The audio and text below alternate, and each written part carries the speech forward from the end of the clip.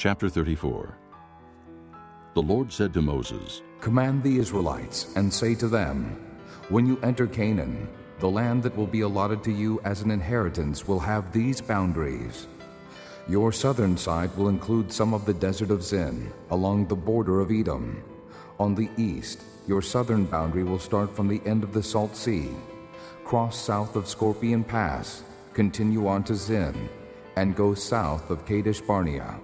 Then it will go to Hazar Addar and over to Azmon, where it will turn, join the Wadi of Egypt, and end at the sea. Your western boundary will be the coast of the Great Sea. This will be your boundary on the west.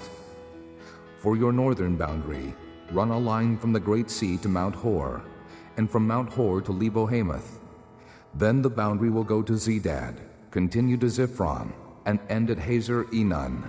This will be your boundary on the north. For your eastern boundary, run a line from Hazar Enan to Shepham. The boundary will go down from Shepham to Riblah on the east side of Ain and continue along the slopes east of the Sea of Kinnereth. Then the boundary will go down along the Jordan and end at the Salt Sea. This will be your land with its boundaries on every side. Moses commanded the Israelites, Assign this land by lot as an inheritance. The Lord has ordered that it be given to the nine and a half tribes, because the families of the tribe of Reuben, the tribe of Gad, and the half tribe of Manasseh have received their inheritance. These two and a half tribes have received their inheritance on the east side of the Jordan of Jericho, toward the sunrise. The Lord said to Moses, These are the names of the men who are to assign the land for you as an inheritance Eleazar the priest, and Joshua son of Nun. And appoint one leader from each tribe to help assign the land.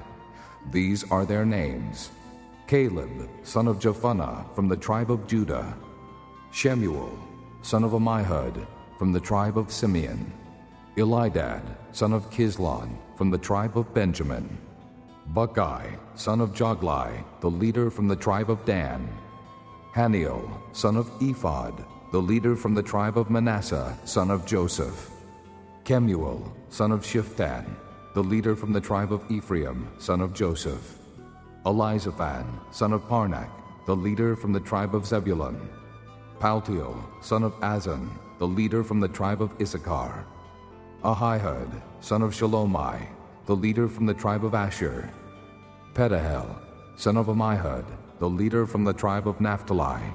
These are the men the Lord commanded to assign the inheritance to the Israelites in the land of Canaan.